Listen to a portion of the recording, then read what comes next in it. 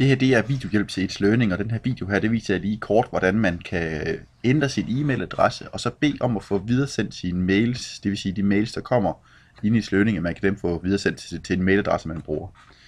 Jeg logger lige på her, og hvis man er elev, så er det selvfølgelig det nye Unilogin, det vil sige Unilogin, man skal bruge.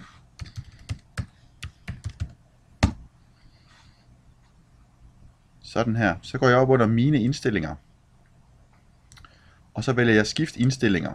Og så heroppe der indtaster jeg så den mailadresse, jeg vil bruge. Og der må man så gerne bruge en, altså en privat mailadresse, en gmail eller en hotmail. Man kan også bruge øh, sin skolemail, som er øh, sit brugernavn, snabelag, edu.orsek.dk.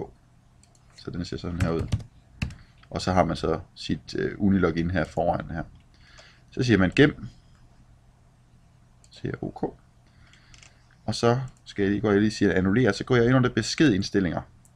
Og så beder jeg om at sige ja her, for at videresende min e-mail til den her adresse her. Så bliver altså ens, e-, ens e-mail, det bliver så videresendt til sin egen uh, mail. Det vil sige, hvis du får beskeder fra skolen, så får du den mailadresse, du, uh, du bruger. Så du behøver så kun at have én mailadresse uh, inde i, uh, i systemet her, som man ligesom bruger til det hele. Så det er lige kort, hvordan man indstiller mailadressen i, i